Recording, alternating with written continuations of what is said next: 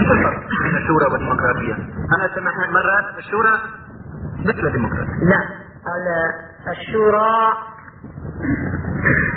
أن يجتمع مجموعة من أهل الحل والعقد ومن العلماء ومن ذوي الخبرة والسياسة وهم الذين يديرون أحوال الناس على نهج الكتاب والسنة. كما قال الله سبحانه وتعالى وإذا جاءهم أمر من الأمن أو الخوف أذاعوا به.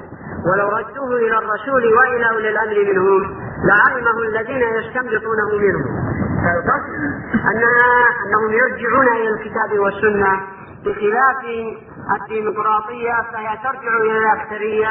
والله عز وجل يقول وما أكثر الناس ولو حرصت بمؤمنين ويقول وإن تطع أكثر من في الأرض يضلك عن سبيل الله ويقول وقليل من عبادي الشكور ويقول ولكن أكثرهم لا يفقهون ولكن أكثرهم لا يعلمون. فالقصد ماذا؟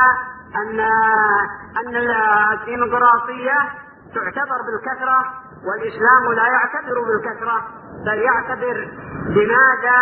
يعتبر بالكتاب والسنة ثم بأهل الحل والعقد يقول الله سبحانه وتعالى وما اختلفتم فيه من شيء فحكمه إلى الله.